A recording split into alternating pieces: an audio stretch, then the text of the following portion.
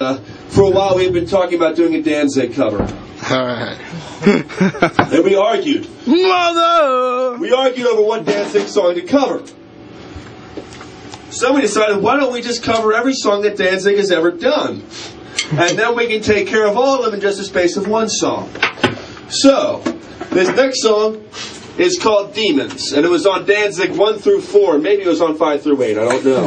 We find out. But anyway, anyway, gonna be Dan- Glenn Danzig right now. Except he doesn't talk in a southern accent. But, we're gonna play a song for you called Demons. And it goes a little something like this.